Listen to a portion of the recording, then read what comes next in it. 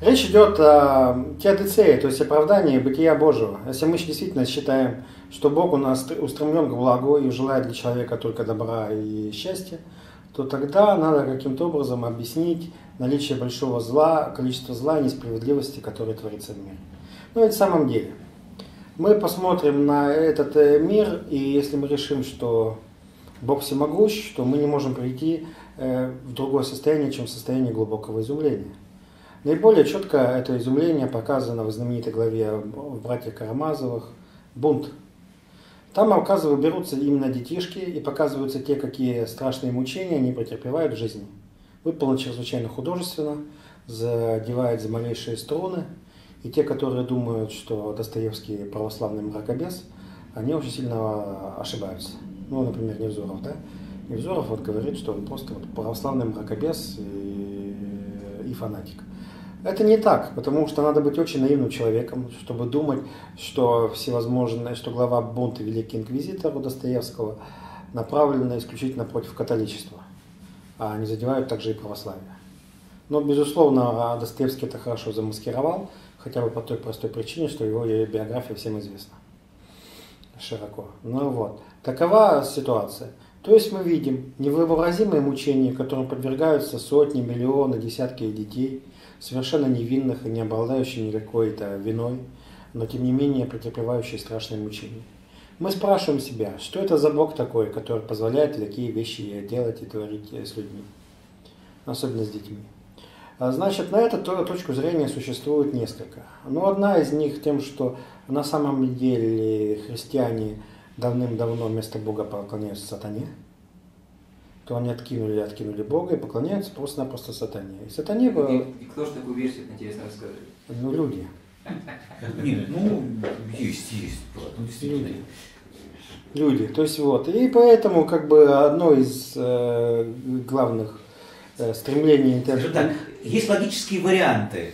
Один из логических вариантов. Так вот, логические варианты, да, согласен. Да, люди что просто Господь Бог э, совершенно бессовестный, невообразимый садист. Ему просто это нравится. На самом деле есть такой человек, и был такой Левашов, академик. Он как раз считает, что эти христиане, любые христиане, там, католики или там православные, что они, они поклонники смерти. Что он в этом смысле Ну, не он, не он один. А... Но поклоняться смерти не одно и то же. Одно дело поклоняться подобного рода сатанисту, то есть вера в Господа садиста. Просто мы действительно думаем, что... А человек... есть еще было древности течение, просто гностическое, да, которое считал, что материя в принципе зло. И тот, кто создал материю, не мог быть добрым богом, да. То есть Бог, создавший материю, является как бы вот демиург, он на самом деле злой. Настоящий Бог другой, как бы он как бы высший, да, он добрый Бог, а вот тот самый демиург, то есть тот самый, кто создал материю, тот злой Бог. И он нас поработил тем, что мы как бы тоже материальный, да, и наш дух томится в материальном теле, как бы, да, как, как э, в тюрьме. Сома сема. Как в пыточной да, камере. Как в пыточной камере. То есть это представление на самом деле очень древнее, гностическое. Да. И вот подобного рода вещи, это то, что бросает в глаза. Но мы же думаем, что если Господь Бог благ, то тогда действительно нам надо его благость каким-то образом совместить с его с невыносимыми страданиями, в первую очередь, детей, которые они испытывают в повседневной жизни. Это вот такова ситуация. Ну, Розан ожидал ответ. Замечательно удивительный, замечательно выдающийся, просто супер философский, что на самом деле дети не безгрешные, они рождаются греховные, и то, что они страдают, это нормально. Это вот да. Такой великий философ. Это да. И, это, народов, и в главе Бунту Достоевского тоже есть. Он тут, Иван говорит, ну я не беру этот самый первородный грех. Тот самый, да? А вот Розанов берет тот самый первородный грех. Но они действительно э, все прокляты в результате первородного греха, и поэтому все должны страдать. Но это странно, потому что люди разные, все люди причастны к первородному греху, но страдают все по-разному. Одним им дается больше, другим дается его гораздо меньше. И совершенно не становится непонятно, грех-то у них один, почему же отмерено им каждому. Просто еще сразу вопрос возникает, а почему страдание это плохо? Вот в православии поставлен вопрос страдание это плохо или нет? И вообще-то говоря, православие ответ неоднозначный. Там да. говорят, не, ну я просто тебе Православие задаю. неоднозначно. А у тебя как бы ты сейчас Нет, здесь страд... вопрос идет о детях. То есть, что страдание это хорошо, это можно понять только в зрелом возрасте и осознать.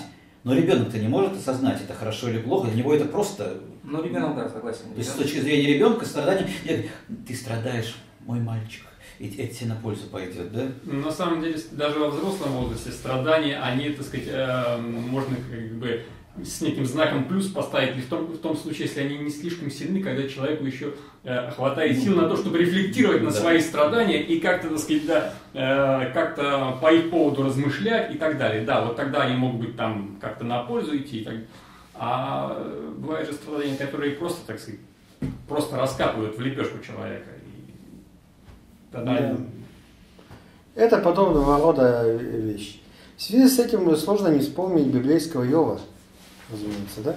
Куда же мы без него-то? Там ситуация была такова, что был праведный перед Господом, награжденный всеми доблестями, то есть семьей, стадами и успехом древнееврейский скотовод, да, и дьявол, то есть сатана с этим, э, э, сатана вместе с Богом заключили по его поводу пари. Вот, э, то есть вот та- такова краткая эта история состоит.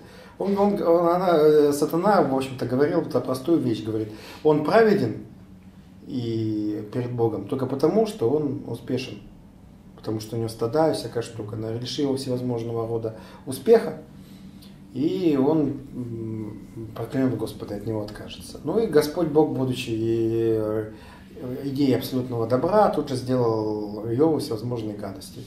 У него отобрал он всевозможные стада, отобрал семью, отобрал, значит, все, Ну, чего как все, по- не он отобрал, а сатана отобрал по как бы Ну да, разрешению Бога. это разницы нет никакой. Да. Разницы нет никакой. Отобрали у него все и покрыл его тело всевозможными болезнями. Вот. Но после этого ему жена дает замечательный совет, похули Господа и умри. Он от него отказывается, тем не менее он сохраняет э, ситуацию, э, сохраняет ситуацию веры в Бога.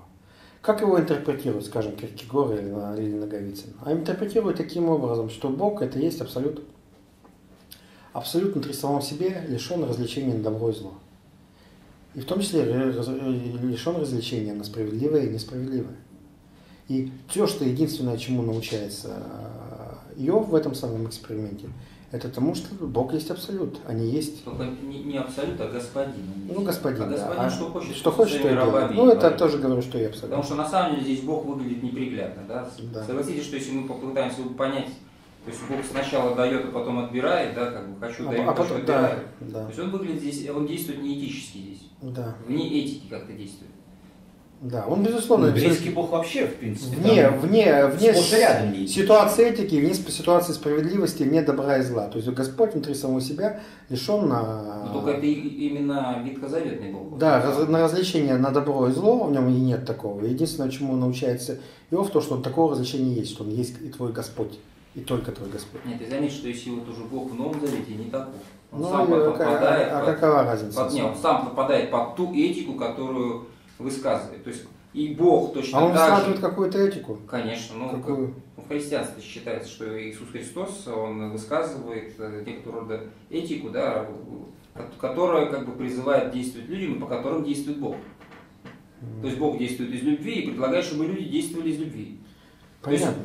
и Бог, и, и, и, и- и люди теперь не в разных категориях, как вот, например, в этом э, в рассказе о Йове, да, где Бог, он просто абсолют, и он как бы за пределами человеческого понимания, человеческих оценок, оценок справедливого там, добра и зла и прочее. Да. И, и отдельно другая категория людей, да, как бы, Да, трансцендентность, да. господин и рабы. А здесь получается, что люди на самом деле и Бог в одной категории, там, а Бог отец, а, а люди состоят в его семье, они являются его сыновьями. Ну, сыновьями, дочерьми, ну, в смысле, детьми Божьими. То есть это, и поэтому Бог точно так же подпадает под ту же самую этику, под которую подпадают и люди. И Бог любит людей, и люди любят Бога, и друг Ну, друга. я хочу заметить, что... А дети все равно Да, страдают. дети все равно страдают. То есть ничего от этого не изменилось, как бы. Я Еще раз говорю, что страдание здесь понимается как научение, да, то есть как- Есть такой Ну, единственный замечательный способ- недавно прошедший фильм американский, называется «Пленницы». Там э, у них, э, у семейства э, умирает сын от рака. И они работают на Господа, занимаются тем, что везде, везде находят, похищают, пытают людей. Для того, чтобы их родители понимали, что есть, что есть на самом деле. Чтобы они испытали тоже такие же невыносимые страдания. И поняли, что Бога нет. Вот такой есть «Пленница», такой замечательный фильм э, с этим, с Росомахой в главной роли, да. Прямо, с, прямо Росомах. Ну, вот. такова, такова, такова ситуация. Э, Тем не менее, э, опять, еще раз, как мы можем отнестись к подобному роду ситуации страдающего ребенка? Ну, первое, принять эту, значит, ситуацию как должное. То есть, грубо говоря, смириться со страданиями детей, абсолютно. И считать, что в данном случае Бог по отношению к нам, а не к ребенку, ведет себя так, как вел по отношению к Иову. Он же тоже там убивал его детей. Это первая позиция. Вторая позиция. То есть э, первая позиция, э, Бог активно убивает ребенка. Да. Сознательно и активно, то есть ос- осознанно. Да, то есть конечно. как поступал с Йовом, так он Да. по каким-то причинам, по своим Да, выбрал да, да. каких-то детей. И осознанно их и уничтожает. осознанно- А иначе нельзя. Вот Иначе и- нельзя. И первый вариант. Если он всемогущ, то он их убивает осознанно. Да, то есть если тебе децы не удаются. Да, брось она никак. Ты к этому можешь отнести. Тебя лица нет, но ты можешь принять его как Господа твоего, как владыку всего сущего. Ну вот он такого, что, что хочет, он с тобой сделает. Что хочет, на твоем говорят, он распнет ребенка. Что прочее, он э, причинит ему невыразимые э, страдания где-нибудь на войне, который может одним пальцем своим, одним Нет, взмахом. дефицит на самом деле есть. Она просто указывает здесь Бог за, за рамками, он трансцендентен, он за рамками наших суждений, да, Да. он просто что хочет, то и творит. И мы не можем это ни- никак судить, потому что нам просто это недоступно. Мы Да, только вот То есть равны. для, для нас это зло, но для него это не зло, потому что мы не можем понять. Да, и ты это за, за рамками зла и добра. И ты мо- можешь, как то, что рекомендует жена с, э, с э, Йова, похулить Господа и умереть, то есть отказаться. Это то, что говорит Иван Карамазов. Но я в таком мире жить не могу, и билет свой на рай, потом на будущее, почтительно возвращаю. Ну вот эта позиция, она такова. Есть, может быть, незначительная, да, но Иван свой билет почтительнейше возвращает. Да. А жена-то, она как бы непочтительно возвращает этот билет. Она наоборот говорит, что э, ты, она ведь почему предлагает похулить Бога? Чтобы умереть, чтобы прекратить эти страдания тупые и бессмысленные. Вот. А самоубийство вроде как не одобряется все-таки. Вот. Поэтому она предлагает ему такое действие. А ты соверши самоубийство тем способом, что похули Бога, а он тебя за богохульство убьет. Но тогда хотя бы твои страдания прекратятся. Мгм. То есть все-таки между вот возвратом билета, потому что когда Иван возвращает билет, я думаю, он скорее стоит вот целиком на позиции самого Иова, который со всем глубоким почтением к Богу стучит кулаком просто по, по- по земле и говорит, выйдь сюда, зараза, и объясни мне, вот мы сейчас судиться с тобой будем, со всей почтительностью, что называется, да. Прямо как Иван возвращает билет, так он со всей почтительностью требует явки в суд, так сказать, обвиняемого Бога. Вот, поэтому тут, мне кажется, есть некоторая разница. Да, есть еще простое исследование воли Бога, что называется. Если ты видишь те вещи, которые Он творит, то ты во всем своих деяниях должен быть по- по- подобен Богу. Поэтому как бы тебе надо от- отлавливать большое количество детей, допустим, и соучаствовать в их пытках. Да, теодицея у тебя получается интересно. Такая теодицея не даже не атеист, а как бы а злобного, не знаю, как даже назвать. Да, давай второй вариант, следующий. А, да, да, я, по-моему, уже все А, перечислили. еще Нет, ну, первый вопрос. А вот, Значит, в связи с этим вариантом, э, так значит, если, если Бог таков, так сказать, он творит все, что хочет, и, а, значит, а если ты все это, так сказать, молча претерпеваешь, значит, тебе уготован рай? Предполагается так? Да, предполагается, да. Предполагается, да, что потом у тебя все разъяснится. Вот Иван Карамазов и считает, что потом ему Вы все все как бы разъяснится. в парадигме этого ветхозаветного Бога рассуждаете, где господин. Не-не-не, нет. В данном случае вопрос был и, совершенно в новозаветной парадигме, потому что, извините, для, них, для Иова а, и долго после него, и уж до него это совершенно точно, иудеи не, не верили в загробную жизнь вообще никак. То есть все, что происходило с человеком, все воздаяние за его, могло случиться только в этой жизни. Потому что после смерти это просто исчезновение. Нет, понятно, просто и тогда получается, что людей покупают, да, как бы можно купить людей деньгами, да, можно купить почестями, а можно купить это Ну, посмертное да. воздаяние. Да, да. Ну, а где, ж- да. не, а где же тогда любовь? Вот, кстати, что представить, надо любить Бога, потому что Он вам подарит рай.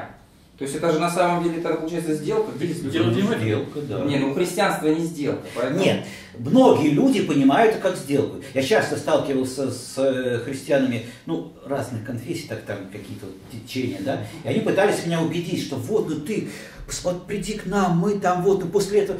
И я такое ощущение, что ко мне подошли несколько банд, на, на улице, и каждый из них уговаривает, ты лучше к нам иди, у нас будет получше, или к нам иди получше. Вот мы тебя защитим, мы тебя защитим. Но сделка, в принципе, для большинства людей, которые не восходят к любви, ну да.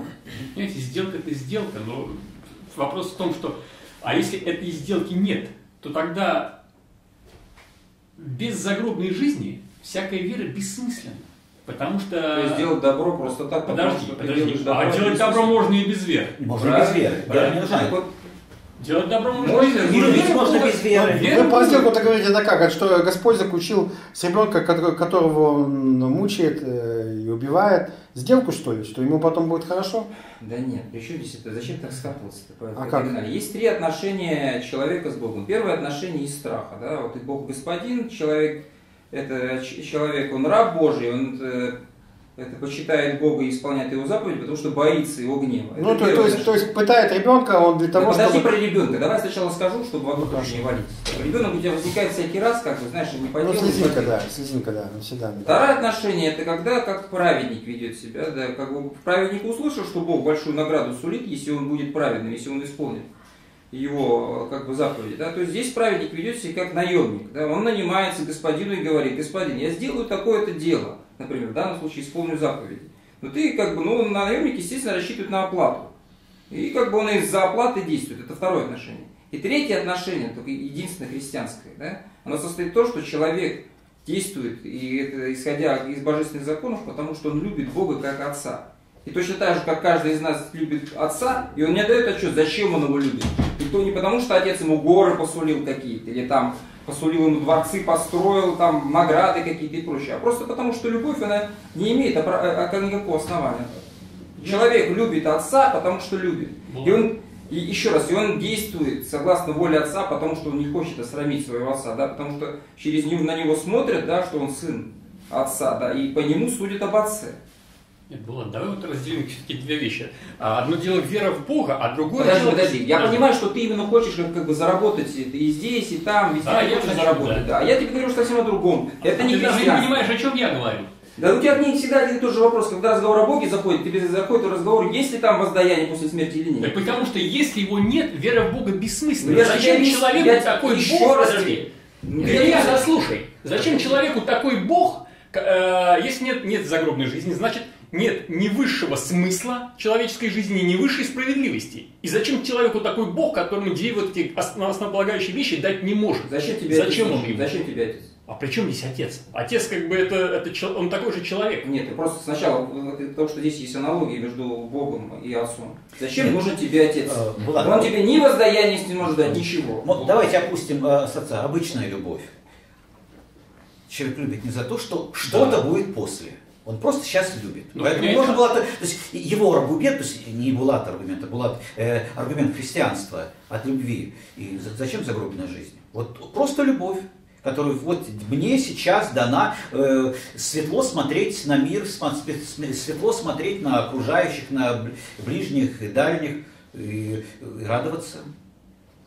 Другое дело, что все это можно и без веры. Вот Вот именно. вопрос. Нет, нет, я хотел объяснять, зачем нужен Бог на самом деле. Дело в том, что то, что предлагает христианство, конкретно как бы то, что изложено на Нагорной проповеди, невозможно осуществить, если не опираться на высшую силу. Человек, это не в человеческих возможностях, на самом деле, осуществить то, что как бы требует... Массово. Массово, да. Массово. Массово. Массово. То есть есть люди, которые могут... Святые могут, да. Да. Отдельные выдающиеся аскеты, там, подвижники, да, вот они Да нет, могут. ну, А массово в, это современ- в невозможно. современной культуре, в современной культуре, когда она уже впитала в себя все, что тогда только вот мо- можно было услышать э, от проповедника, да, э, в современной литературе, ну, как бы смешно говорить, я не убиваю, потому что есть заповедь, или я там Не-не, не понятно, потому что э, есть заповедь. Нет, Ну, просто и- упование а на там- Бога, на самом деле, это есть просто не что иное, как упование на то, что добро в этом мире возможно и осуществить. Так почему же оно добро-то тогда именно возможно? Нет, Ведь да. любовь не предполагает того... Добро, зачем, да, зачем Ты- Мы ушли от Потому что любовь и к Богу, и к человеку. Так пусть она любовь к Богу и человеку. Давайте я Я люблю Бога, но я одновременно, одновременно сознаю, что Он является и представляет из себя бессовестного садиста. И по факту он и представляет из себя тебя не что иное, как Почему? Давайте я Почему нет А Почему аргументов? Потому что дети Стоп, страдают. стоп, стоп. Давайте промоделируем. Я ушли от вопроса. Нет, давайте... Тему ушли. Нет, Игорь сказал, потому что вот я вот отвечаю на вопрос, это как раз в тему. Да, Как, как страдают. отвечает, допустим, Лейбниц, да, который про диадицеи пишет? Дело в том, что человек имеет свободу. И Бог, чтобы эту свободу не нарушить, в том числе попускает и зло. То есть зло на самом деле от того, что человек имеет свободу и как бы и дает возможность этой свободе реализоваться. Естественно, что если я свободен, и я могу свою волю направить Да как- на добро и на зло. У И тебя- Если Бог уважает, подожди, если Бог уважает мою суверенность по-настоящему, как личность, а не просто так абстрактно, да, там типа, как бы я, конечно, тебя уважаю, Если попробуй что-нибудь э, сделай, я сва- накажу. Свободный садист, насильник, Да. педофил, и я тебе... Да я тебе де- детей подгоню. Подгоню детей, я ты будешь уважаю насиловать, я уважаю твою свободу, уважаю твою свободу, не предотвращу э, твои действия То над есть Бог, детьми. иначе говоря, э, он не вмешивается вообще в земную жизнь, так? Нет, это второй, нет, это Нет, второй он, вариант. он Стоп, уважает свободу стоп, Чикатила. стоп. Поэтому он подгоняет постоянно Игорь, продолжайте. Значит, первый, первый вариант, что он э, сам, ну, садист, не садист, но просто вот сам издевается и умышленно, осознанно, э, как э, Всевышний. Второй вариант. Ну, второй вариант лектору, наверное. Нет, Почему? Говорит. Второй вариант, вот э, предложил э, Лебедевский э, вариант, что Бог в принципе контролирует все, контролирует всех людей, но уважает в них свободу. И поэтому зло происходит от свободы человека. Человек не совершенен, не все люди совершенны, но поскольку он не может э, выборочно Бог подходить к свободе людей, то есть кому-то давать, кому-то не давать, он всем дает свободу. Да? И от этого, то есть зло идет уже не от Бога, а от человека, а Бог просто разводит руками, потому что ну, я Да. дал тебе свободу, так Нет, дал свободу. Вы запомните, что как бы отсюда... Нет, я говорю, это второй вариант. Да, да. И, и никто не, не, не отрицает, что есть воздаяние. Да? Ведь на самом деле из того, что Бог дал свободу, и человек может все творить, это не значит, что чело- человек ведь умирает. Как вот не крути, а это есть есть воздаяние. Походу, возвращаешься умирают опять- другие. опять Ну, вот проблема жизни он- ты- ты- и Нет, он-то умирает. на самом деле к загробной жизни я возвращаюсь, но загробная жизнь это не то, что на самом деле известно заранее, в чем она состоит. Это просто на самом деле есть некоторого рода воздаяние, которое состоит в том, что по делам твоим будут ты как бы и осудишься. Ну как это случится? Ну да, В чем а оно состоит? Рай какой-то или, или в чем оно состоит? Непонятно. Ну да. И этот вопрос на самом деле остается в туне. Да. Вот, получается, не, что не сидит- остается. Поэтому Бог, Чикатило да. явно рассчитывает, И, что таким образом... э, а, ставит галочки каждому человеку э, по его делам, да? И вот, значит, там свечку поставил, вот погладил по головке. Да вот нет, убил. не зачем скатываться не- к свечке Да поставил. нет, ну я утрирую, ну Булат, я просто вот убил, поставил. То есть он не предотвратил ничего, просто поставил себе галочку, я потом его накажу. Нет, на самом деле я нет. Я потом накажу, вот э- этот минус Я смотрю, сейчас собрались люди не православные, потому что мне приходится объяснять как бы православный канон. В чем состоит на самом деле уже воздаяние, которое происходит даже на земле? Дело в том, что согласно православной традиции считается, что если человек творит зло, то он на самом деле как бы вредит самому себе. Потому что э, творение зла в православии понимается как болезнь. То есть изначально человек это здоровый человек, да, он не, как бы считается, что он не творит зла, да, а, а зло а, рассматривается как своего рода это проявление болезни, да, человеческой, как бы вот как проявление нас этого Да нашего ты греха. пойми, ты смотри, Ну, какая... подожди, ну дай я скажу, ну что Ну такая, хорошо. Ну говори, Вопрос говори. состоит в том, что, что в чем состоит это, то, что он болеет. Он как бы закрывает себя от Бога. Совершая зло, человек все дальше и дальше отдаляется от Бога. Ему становится все лучше и лучше. Нет, ему не становится все Ему, лучше. То есть по сути, когда мы наблюдаем жизнь, мы видим наиболее свободными людьми, которые творят все, что угодно и упиваются жизнью, именно подонки. Но это, это старая тема всех атеистов, почему как бы верующие люди живут плохо, а вот плохие, как бы неверующие люди живут и припевающие и хорошо. Это старая тема, просто заезженная пластинка, Да, любимая, на которой садятся все атеисты. Да что, здесь- что это нам Да, Булат, мы сейчас не обсуждаем Ну, христианство. два варианта. Давайте. Мы обсуждаем, вариант. мы обсуждаем э, варианты, в каких можно мыслить логически. Есть третий вариант, скажем. Вариант состоит в том, что на самом деле, я говорю, два варианта, вы правильно Нет, есть третий вариант еще. Есть третий вариант, э, что э, Бог, создав, вообще ушел на отдых. И мы варимся сами с собой. То есть э, это э, так- такой вот эволюционизм э, совмещенный. То есть вот я сейчас... А зачем нужно слово Бог называть? Это мы природу сказали. Нет, кстати, нет. Александр, выйдите, пожалуйста, Нет, ну нет, достали. нет, Ну, нет. ну сколько Это можно Бог. достали? Ну, Ну, ну ничего, ну просто, сколько уже можно-то? Это Бог все-таки, Творец. То есть, то есть э, можно себе призна- признать, что ничего в принципе нового не появляется, кроме того, что сотворил Творец, и он как бы только заложил что-то, и это вот как бы проявляется только. А без, э, скажем так, современная физика, современная наука нам не дает никакого инструмента творения. У нас нет творения. Поэтому нужен Бог. Он мог един- единожды создать, Чем такой Бог отличается от этого взрыва? Этого? а потом а взрыв ничего не творит, извини Как меня. творит? Не Ничего не- появилась сингулярность. Ну, не творит. только сингулярность, ну, не, э, не- А зачем нужно что-то творить? Можно сказать, что мир был всегда и все. Ну, мы видим, что он... Нет, и в данном случае мы не рассуждаем, что э, как бы вариант без Бога. Мы э, э, воспринимаем варианты с Богом. То есть первый вариант, когда он всем управляет и сам это. Второй вариант, э, зло от человека, э, Бог не вправе вмешиваться, поскольку человек дал свободу. Э, третий вариант, что он просто отдыхает, наблюдает, вот, дал первый толчок А такой. во втором варианте он все-таки как-то вмешивается? Э, в- Во втором варианте он хоть с- ставит галочки, скажем, следит. Нет, там, он э, вмешивается на самом деле. Вмешивается. Конечно. А в каких ситуациях? Почему? Вот как он решает тогда? Вот сейчас я вот этому педофилу э, помешаю, вот этому не помешаю. Нет, он вмешивается как бы неизвестным образом. Он Когда, как, как бы... э, А почему тут обязательно педофил? У тебя ребенок может умирать от инфекционного Ну заболевания. да, хорошо. Страшно. Почему одного, одного ребенка Ну, спас, другого я нет? говорю, пути Господни неисповедимы, мы не знаем, как, когда он вмешивается, когда не вмешивается. Но в любом случае, как бы, как управитель вмешивается. Естественно. Не, ну а какой это- смысл был бы в Боге, если бы он не вмешивался? Вообще есть понятие о чуде, да, как Нет, ну тогда, тогда возникает проблема теодицея. Почему тогда объяснить человеку, маленький ребенок трех лет умирает от конь, гниет заживо, умирает со страшного инфекционного Ну, а заболевания. без этих вот слез можешь вот без этих слез? Не Просто могу. обыкновенный Да нет, человек. это могу основная, слез. основная проблема. Не Это могу, основная не могу. Я не вижу здесь нет, проблемы. Основной. Булат, это не основная проблема христианства, да, но мы обсуждаем сейчас именно вот эту проблему. Это основная проблема нашего обсуждения. То есть как нам объяснить поведение Причем Бога ТДЦ, относительно... это ТДЦ. Вы как бы за- задача была в ТДЦ, а на самом деле здесь суд как бы, что как бы над Богом. Как бы. Не суд. И Богу на А самом деле вопрос- здесь остается, да, мы- мы- поскольку он оправдаться не может, да, ему только остается сказать, да, меня Нет, нет, Булат, да, опять же. меня-то нету. Давайте за- всё Почему? оправдано. Да Булат, почему? Мы же можем понять... Философское обсуждение логических вариантов. Как можно мыслить по-разному? Да. Мы ничего не осуждаем. и просто- Нет, есть же совершенно нормальное э, мнение, которое вытекает из эмпирических фактов, что Господь просто бессовестный садист, а Чикатило, грубо говоря, его наместник на земле. Слушай, мне просто для, как бы, как, как я, как тот бог, вот у Саши, сижу, сижу галочки ставлю. Один вариант разрешения этих вопросов состоит в том, что Бог есть садист. Да. Второй вариант какой у тебя был? Это Второй вариант, э, то, что э, Бог Нет, дал просто- свободу человеку и... э, Не, не, нет, это А. то, что Булат э, воспроизводил Лейбница. У тебя был какой-то второй вариант. А Второй, вторая, второй вариант он состоит в том, что существует не а, монотеизм, а существует дуализм. Существуют две противоположные ситуации, которые между собой борются. Это то, что назвал Булат э, гностицизм. А, Ну, да, то есть да. э, там не одна сила, а две силы. И борются между собой. И поэтому иногда, э, ну, это более логичный такой вариант, да. То есть, когда победил э, Бог, свет- све- светлая сила э, выздоровел, когда победила темная сила, умер ребенок. Ну да. И Бог как бы не виноват, он борется сам. Мгм. Он Третий, да, Да, третий, он старался. третий вариант, который мы просто это дело никаким образом не понимаем.